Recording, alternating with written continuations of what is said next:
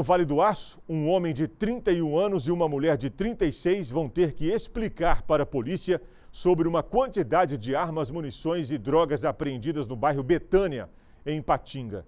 O suspeito foi pego em flagrante dirigindo um carro de passeio. Durante a abordagem e para escapar da PM, o condutor tentou se passar por outra pessoa.